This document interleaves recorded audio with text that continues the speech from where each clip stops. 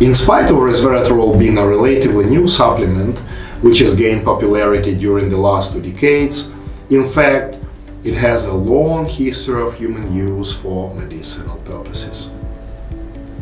How long, you may ask? Well, much longer ago than uh, 1981 when uh, Richard Cambien and Ducimetière published the article Epidemiological Characteristics of Coronary Disease in France. And even longer ago than 1819 when the term French paradox was first introduced by the Irish doctor Samuel Black. What exactly does it mean, the French paradox? What it simply means is that researchers have reported that in spite of the predominantly high-fat diet in the southern regions of France had a lower incidence and mortality from coronary heart disease. And the actual phenomenon was attributed to the moderate consumption of wine, which supposedly served as a source of resveratrol. Resveratrol is the main ingredient of roots of the plant called Polygonum cuspidatum. Medicinal properties of this plant were used in traditional oriental medicine for treatment of heart conditions and various dermatological disorders. But the actual origins of medicinal use of resveratrol go way back all the way towards Ayurvedic medicine according to which fermented grape juice was used as a remedy for heart diseases. There has been many positive effects of resveratrol described and to a large extent those effects are recognized as a result of the resveratrol acting as antioxidant. Well, indeed, resveratrol does prevent oxidation of the LDL lipoproteins, which is great because it is the oxidized LDL is the one that causes the endothelial damage, which launches the cascade of atherosclerotic changes inside the arteries. It also upregulates certain enzymes involved in the antioxidant protection. It has mild anticoagulant properties as well, which is also beneficial in prevention of atherosclerosis and thrombosis.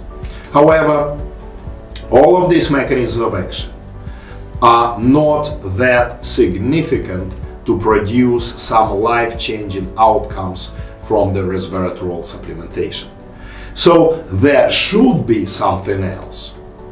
And there is something else indeed. Resveratrol has the potential to extend the lifespan.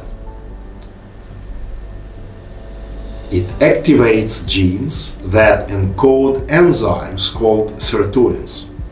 Sirtuins are the regulators of the DNA.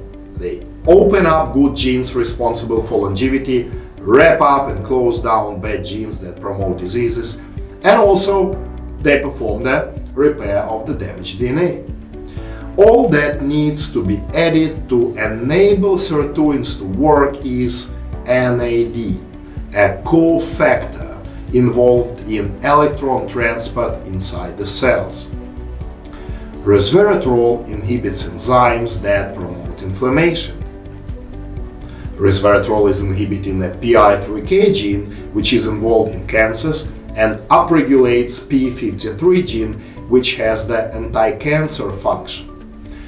And last but not the least, resveratrol activates AMPK, which is a longevity gene, and we have already know the same gene is activated by the metformin as well. As the result of these biological mechanisms of action, resveratrol has the following effects. It's cardioprotective, antioxidant, anti-cancer, neuroprotective, anti-inflammatory, anti-dyslipidemia, and anti-diabetic effects. When taken in moderate doses, in higher doses, resveratrol may become toxic. It can induce cellular death and even promote atherosclerosis.